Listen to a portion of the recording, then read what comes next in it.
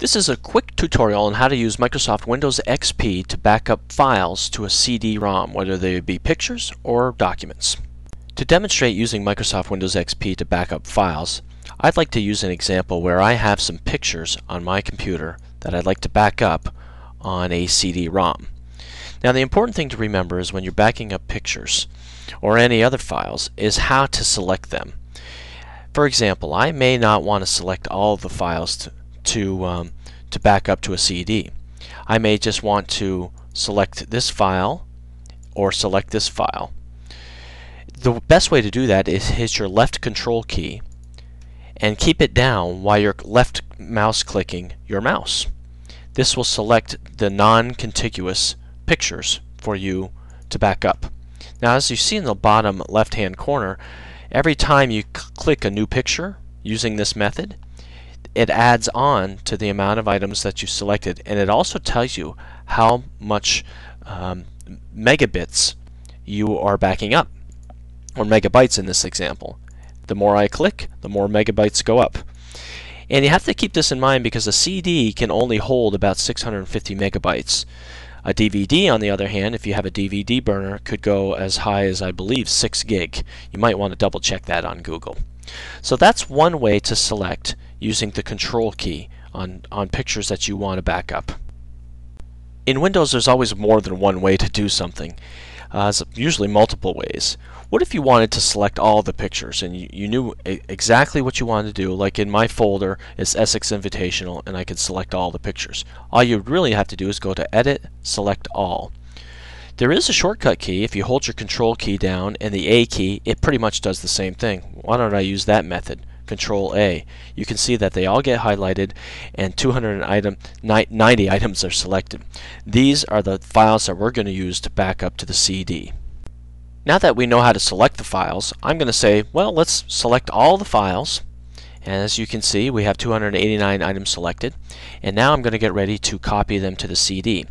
I've placed a CD in my CD holder, and um, now we're ready to go. I'm going to click on Copy to CD, and as you see, it'll do a bit of an inventory and start to um, take all these files, copy them to a temporary location on your hard drive. And uh, I think Windows does this in case you, you want to go and add more later. It puts it in a, in a temporary location. You'll see on the lower right hand corner it's saying, hey, you have files waiting to be written to the CD. What do you want to do? And we can at this point, click on this balloon, this word balloon, and it'll bring up all the files in that temporary location. As you can see, you can see all the files that are stored on the temporary location before they are written to the CD backup drive. So now that these are all the files that I have, I, all I really need to do is click on this command on the left, write these files to CD you'll see that uh, we can name it something if we'd like. It, it defaults to a uh, today's date, but what you could do is call it something a little more um, a little more descriptive for you.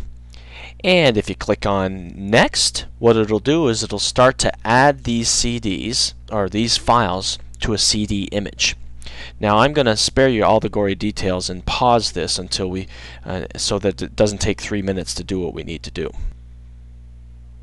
The time it takes to back up the files is really dependent on how many files you actually need to back up and how fast your CD-ROM or DVD burner actually is. As you can see, it's writing the data and it's counting down and gives you some sort of idea of how long it'll take.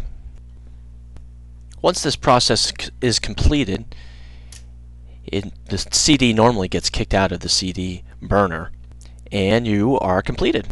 Now let's examine the context of the CD just to make sure that all our files got backed up. After you place the CD back into the DVD or the CD uh, player on your computer, you'll see if you open up My Computer, you'll see the different drives that are in there. You, you have your local hard disk drives, but you can see here my, my CD is named Essex XC. Remember at the process I named it that? Isn't that awesome? It gives you some sort of idea of what CD is in your computer. If you double click it, you can open it up and then you can see all the files that are written on there. These are all your files that are backed up. and uh, you can see all the details of them and how much space and that sort of thing.